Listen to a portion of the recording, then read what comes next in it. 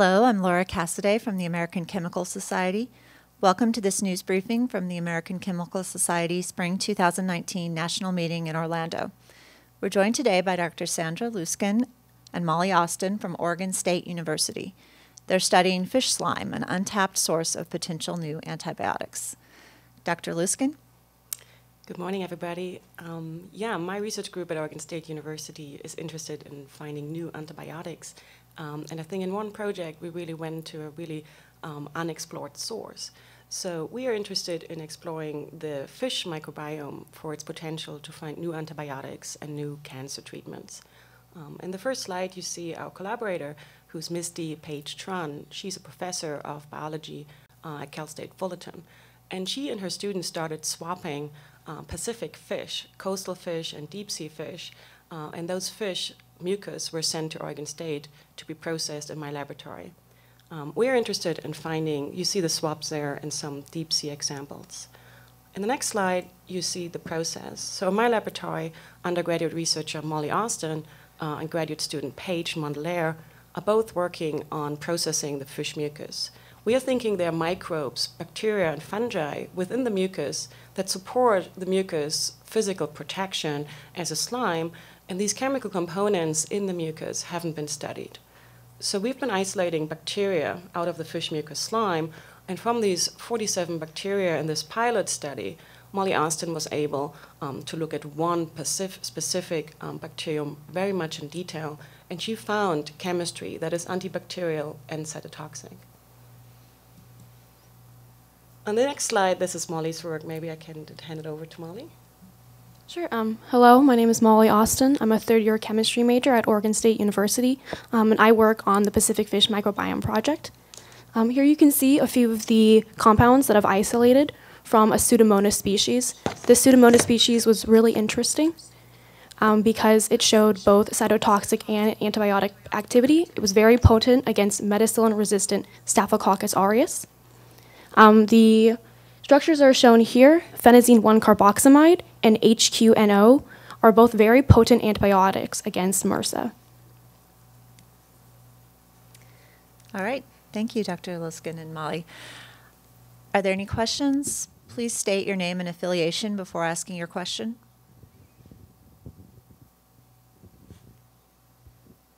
Hi, so it's Kath O'Driscoll from Chemistry and Industry magazine. Um, and I'm interested in finding out more about the novelty of this source of antibiotics. Are we likely to see any new um, mechanisms of action or any new kind of classes of antibiotics? Um, because I know there haven't been any new classes of antibiotics. I think we're being told for like decades now. So, yeah, how optimistic are you? That's a very good point. Um, so, so far we have not found new chemistries, but we were really surprised by the breadth of chemistry we've seen, the different chemical classes we have seen. And from 47 strains, we only looked at one and found six very potent compounds. Um, we've been doing natural products discovery for the last 10 years, and these microbiome bacteria haven't just not studied much in many, many other research groups. They have been overlooked. And so I think there is potential. If 50% of our strains are active in this really small pilot study, there's chances there are new novel structures and possibly new mode of actions. And also, just another question to ask about how the fish microbiome compares, say, with the human microbiome, and also how the mucus of the fish is different from its microbiome. Um, I, I guess very good question. um, so we're just exploring um, what bacteria are contributing to a healthy fish microbiome. Um, we will collaborate with taxonomists that are interested in the bacterial population on certain fish mucus. So I think in the last slide we see the most data we got from a pink surf perch. Um, many people that go fishing in the Pacific um, coast find those fish. And we found this Pseudomonas bacterium that's associated with the mucus, and it's very potent in making these antibiotics. So the follow-up study is now, we just received fish from our collaborator to see, is this bacterium truly present in other pink surf perch? Is this contributing to a healthy fish microbiome? But we know less about the fish microbiome than we do, in my opinion, about the human microbiome. So I think there's lots to see and discover.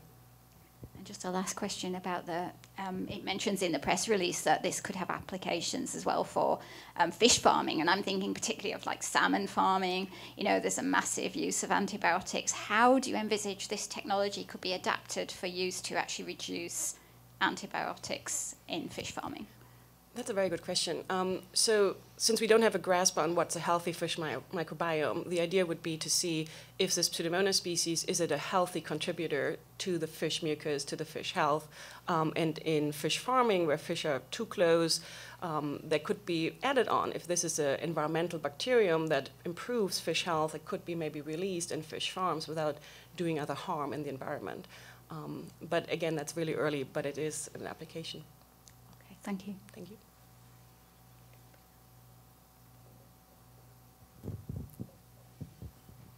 Uh, Pela Buslik, ACS.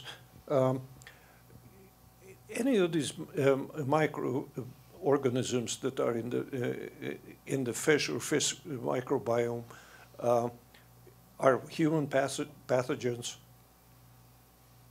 Like they, most micro uh,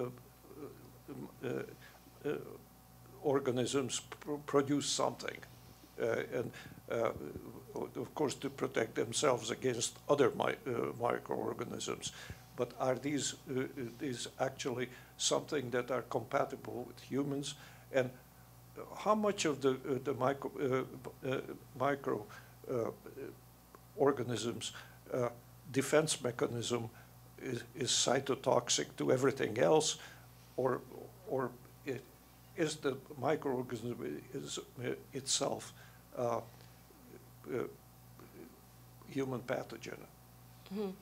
That's a very good question. Um, so the strain that Molly looked at is a Pseudomonas aeruginosa. It's a gram-negative bacterium that can be uh, an immunocompromised patient. It can be human pathogen.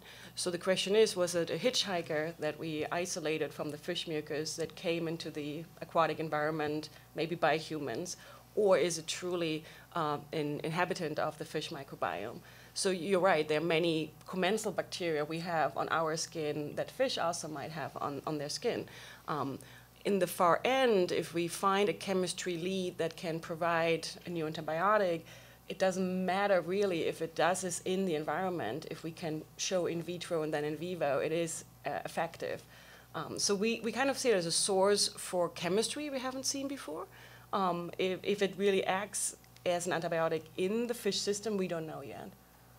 Well, it, it's actually the pseudomonads that, that kind of picked up my interest on this because a lot of pseudomonads are human path uh, pathogens. Correct. Uh, the other question has to do with, uh, with the, uh, uh the uh, carbohydrate polymers in, in, fish slime. they're, they're reasonably good, good, at least a lot of carbo carbohydrate polymers are uh, essentially uh, antibiotic mm -hmm. to a lot of a lot of organisms. How the heck do you de deliver all these things to, to the right place? Because mm -hmm. of course they don't exactly go through membranes as, as easily like you know putting it in, in, in a plate and, and seeing activity because they're in direct contact with the microorganism is one thing.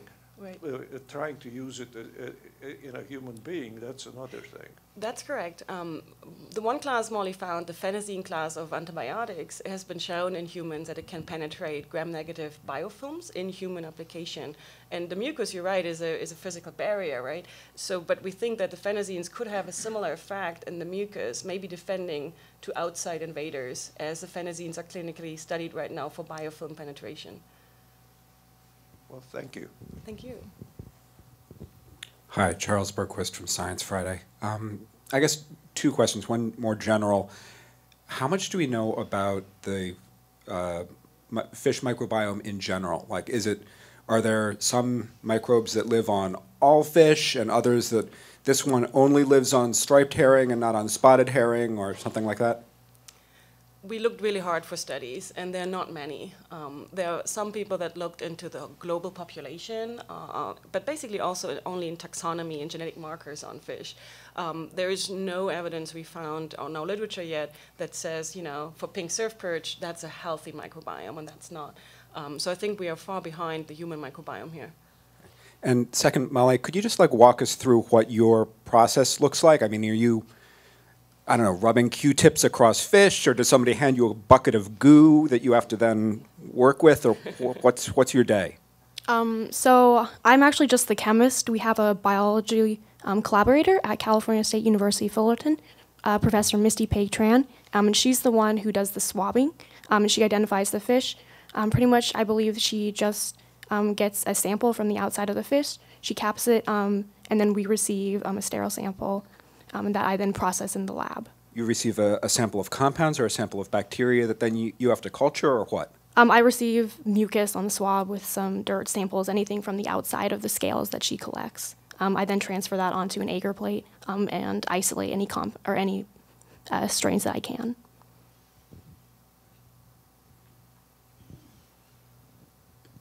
Katie Cottingham from ACS. So, um, have you tested the antibiotics on humans yet, or has this just been in vitro? Um, yeah, that's very early. So in this pilot study, we tested all the compounds in vitro and cell culture um, mechanisms for antibiotic activity. Um, and the phenazines that Molly found are in clinical exploration for human application. So these structures have been found and they have been pursued actively. Um, the great hope is to find a new compound for sure, a new antibiotic. Um, but having 50% of our strains being active, I, I feel comfortable that we might find something new in that regards. Yeah. And um, do you have any ideas how the bacteria then are killing colon cancer cells? And how did you get the idea to test for cancer cells? So in my laboratory, we um, test broadly, um, basically any chemical that comes in my lab. We test for antibiotic activity, gram-positive, gram-negative, ESKAPE pathogens, the one that are really threatening us. Um, we have a panel of five cancer cell lines that we just use routinely to see um, is an antibiotic truly an antibiotic, or does it also have cytotoxic, cell-toxic properties. We also test for HIV-1 um, antiviral activity. So it's a rather broad spectrum all the chemistry goes through. Um, and many antibiotics um, historically have been found being cytotoxic as well. Um, and so we always test in both assays. Um, one compound that Molly found is only cell toxic, not antibiotically active. So we're not sure. It could be that there's a defense mechanism in the mucus, maybe that a predator would not attack the mucus or not have a bite. Um, but we don't know yet. We have to explore more. Any other questions? Thank you. The archived version of this session will soon be posted at bit.ly slash acslive underscore Orlando 2019. Please join us for our next press conference at 11 a.m. today on on-demand polymers that could lead to novel computing and fraud detection technologies. Thank you.